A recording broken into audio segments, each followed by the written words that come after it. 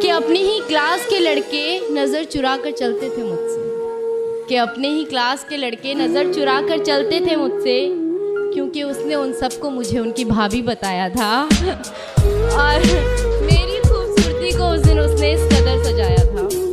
वो अक्सर छुप छुप के तोहफे तो देता था मुझे। वो अक्सर छुप छुप कर तोहफे भी देता था मुझे।